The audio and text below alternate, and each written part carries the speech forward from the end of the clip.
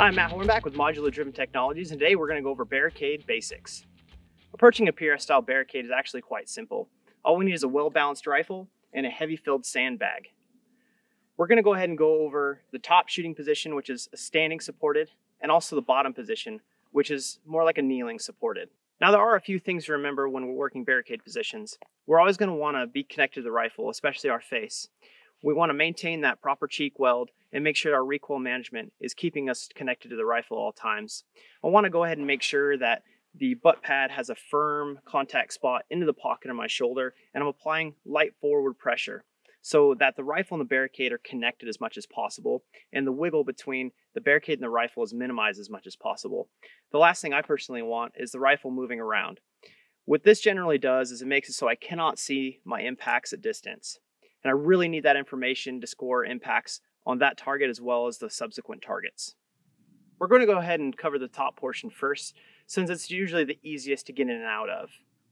First, we're going to go ahead and start with our rifle in one hand and our bag in the other, about one step away from the barricade. I'm right-handed, so I'm going to go ahead and start with my rifle unloaded in my right hand and the sandbag in my left hand. Now starting about a step away from the barricade, I'm all set up. Now what I want to go ahead and do is I want to orient my body to the target at all times. If I find myself canted off to the left or right, that's really going to throw me off and I'm going to have to look for the target. So when I approach the barricade, the first thing I want to do is build the position with the bag. Now I'm going to spread this bag a little bit apart so it conforms to the post. Then I'm going to go ahead and settle that bag and make sure it's not going to fall off and it's nice and stable for me to set the rifle on. When I set the rifle down the bag, I'm always going to point the muzzle of the rifle at the target get as close as you can. That way it makes finding the target and scope a little bit easier. Now, there's two methods to using your support hand. I like to ride my hand on the top of the scope, pressing forward and down so I can control the wobbles on the rifle. Another method to do this is running your support hand on the side of the rifle and connecting the rifle and the bag, kind of squeezing both of them together. When I have the rifle positioned at the target on the bag, I want to bring my face down and square my body up at the same time so I have good recoil management. I want that recoil to push right into the core of my body so that the recoil path is getting as much resistance on me as possible so I can spot my impacts. Now when I lower my face to the rifle, that target should be in the field of view of the scope. Now a tip to this, don't start on max power if you're not well versed in this. Go ahead and back down to about 12 power and then as you get more comfortable with this, you can run up magnification if you'd like. This will help you and cutting time searching for those targets. Now, once I have my position built, I can slowly manipulate the bolt forward and down so I can keep the crosshair on that target and then work on my wind call if needed. When I feel comfortable and the rifle is settled, and what I mean by settled is that rifle wobble is as minimal as possible. If you find the reticle dancing around larger than the size of the target, you need to go ahead and take the extra second to breathe again or take the time to rebuild that position and let the rifle settle. When the reticle is nice and rested on the target, I'm to go ahead and squeeze through and hold the trigger to the rear. I really want to spot that impact. If I missed, I need to know how by how much and on what side. And if I hit, I need to know if I'm doing the right thing and I can continue that hold, or I need to go ahead and work in a correction. Follow through is very, very important when shooting positional. We'll go ahead and repeat this process dry firing a few times to really get comfortable with this position. We're going to go ahead and come off the barricade and rework this position a few times so that I can feel what the bag is doing, the rifle's doing. And then go ahead and minimize that wobble zone and pull clean trigger breaks and then practice follow through. All right, what we're gonna go ahead and do now is we're gonna go ahead and load up some live rounds and take a couple runs at our practice target. It's a 10 inch diamond, about 350 yards. It's a pretty generous target. We'll go ahead and work on a large target for practice and we'll go ahead and work to the center of that target.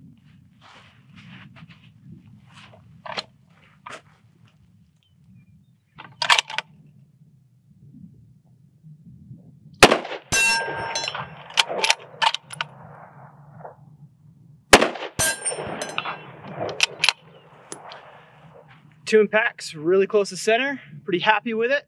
We'll go ahead and move on to the lower position. Now getting into the lower position, we're going to go ahead and approach it the similar way that we did the top position. We'll go ahead and set the bag down.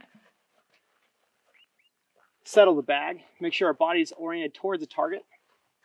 set the rifle down with the barrel pointed at the target. And when I get down, I like to leave my right knee up and my left knee down. This creates some rear stability by connecting my knee to my elbow. Now, when I come in contact with the rifle, I should be in the general vicinity of the target. And you'll see my elbow come in contact with the top of my knee. When I'm comfortable and the rifle settle, go ahead and run the bolt and squeeze. Now that's one way to approach the lower position on the barricade. The second approach to shooting the bottom portion of the barricade is both knees down. We'll go ahead and restart with our body oriented towards the target. Bag down, rifle, and then now when I'm getting down, I'm gonna go ahead and place my left knee down, my right knee down, and I'm gonna square up about the same way we did with the top position. I'm gonna spread my knees a little bit apart so I have a nice wide stable base.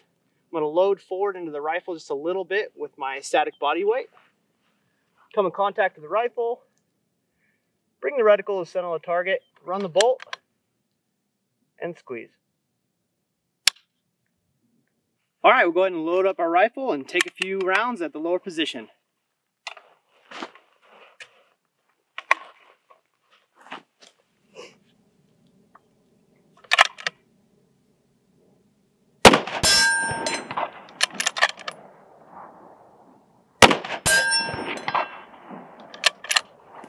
Pretty solid impacts. Let's try two knees down.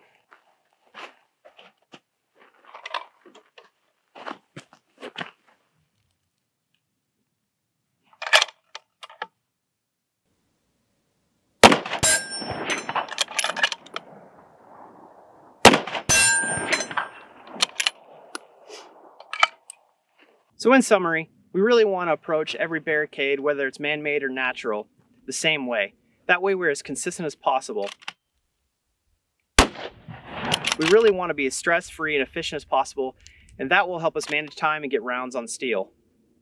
We really want to focus on applying the four fundamentals, especially follow through.